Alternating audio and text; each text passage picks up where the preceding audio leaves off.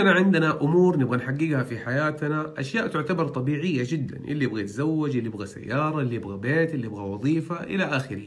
وكل هذه الأمور تتطلب العمل أو الأخذ بالأسباب. السؤال هو إيش الأسباب اللي سويتها أنت قبل كده عشان تحصل على مرادك أو طموحك أو آمالك؟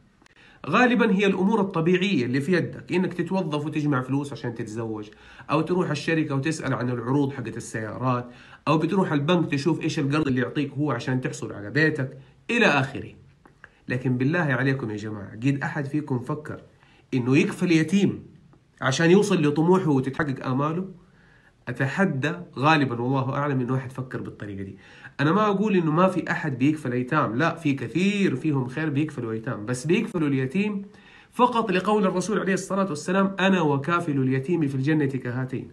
ما هم عارفين إنه آمالهم تتحقق لهذا السبب. واحد جاء إلى الرسول عليه الصلاة والسلام يشتكي له من قسوة القلب. قال له يا رسول الله أنا أشتكي من قسوة القلب وأبغى شيء يلين قلبي أبغى أسوي حاجة تحسسني إنه قلبي ما زال حي.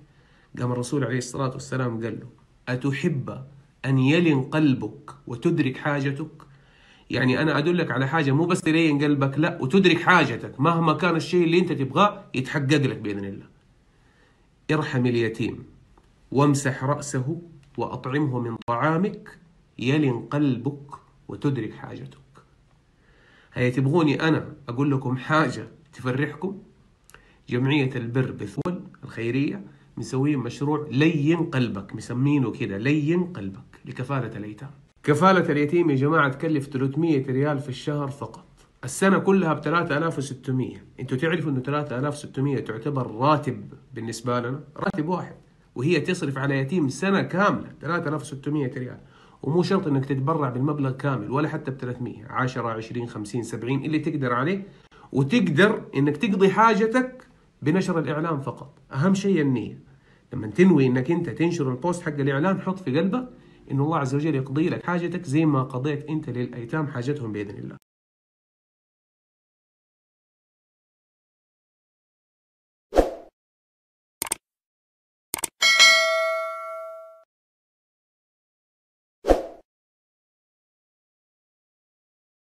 مع رؤية 2030 صارت الجهات الحكومية تتنافس في خدمة المستفيدين.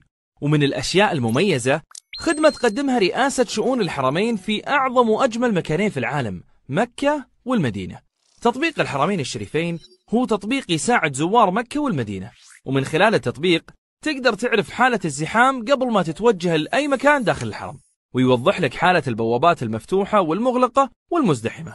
ولو معك أحد يحتاج عربة بإمكانك طلبها بكل سهولة من خلال التطبيق.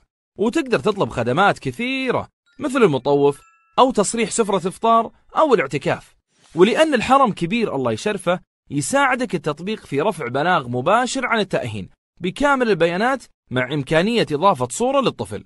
أما الخطب والصلوات فلها بث مباشر وترجمة عبر التطبيق وكذلك جدول الأئمة.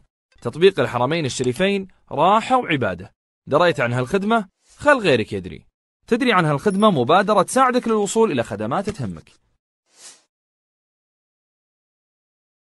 إذا كنت من المتابعين الجدد اشترك الآن في القناة ليصلك الجديد بالضغط على الزر الأحمر أسفل القناة مع تفعيل الجرس ولا تنسوا دعم المقطع بلايك. شكرا لكم جزيل الشكر.